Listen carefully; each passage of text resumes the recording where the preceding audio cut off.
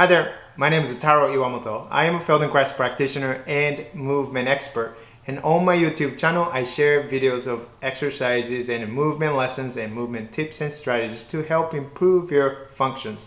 And in today's video, I'm going to show you a very simple exercise that helps to improve your balance.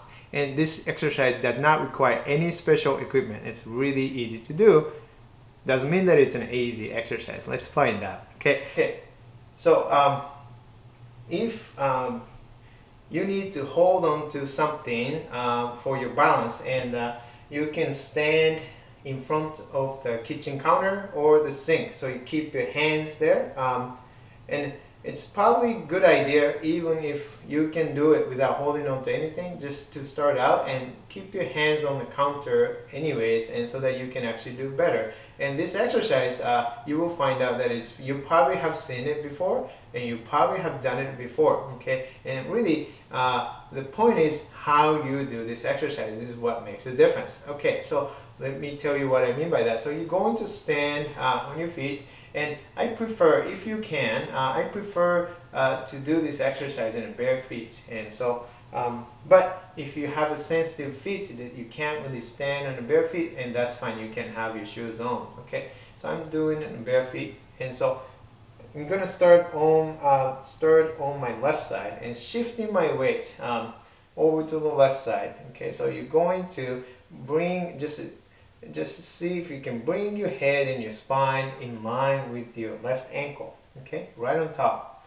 So the head is not over to the right or over to the left okay? So here here over and then my spine is in line with my left hip my left ankle. And if you can't really feel it then it's you can do it in front of the mirror so you get a bit of the feedback okay? So here, I'm just using my hand to guide my head to be right over my left ankle. How do I know that? Um, if I go way over to my left side, then I my left ankle it starts to roll, okay, and my inside of my foot is starting to lift away from the floor. And then I know that I'm shifting weight a little bit too far to the left side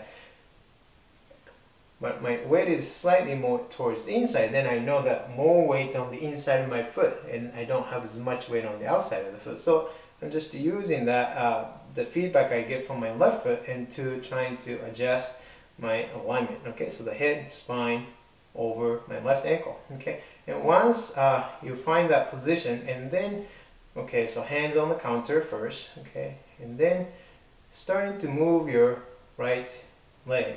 Okay, straight.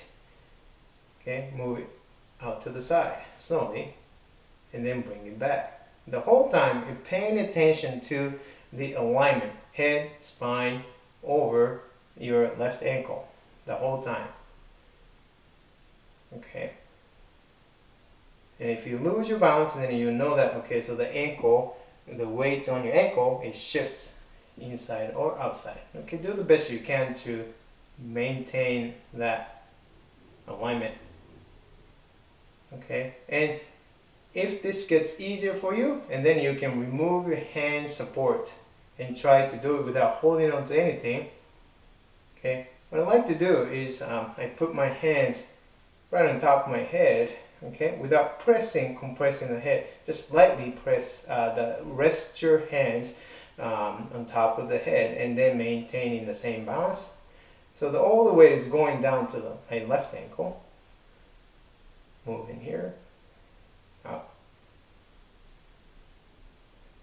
Okay, so that's it. And uh, I didn't really uh, tell you specific repetitions, but this is about improving the quality of the movement. It's not about uh, the quantity so much. Okay, so if you get too tired, then uh, then the quality of the movement uh, it goes goes down, then of course you want to stop and take a break, and uh, so that you can really working and on improving the quality of the movement. Okay, and that's it. So try uh, try this exercise and uh, let me know what you think. And if you like this uh, video and exercise, and please uh, please hit the like button. And if you're new to this channel, and please consider subscribing. Okay.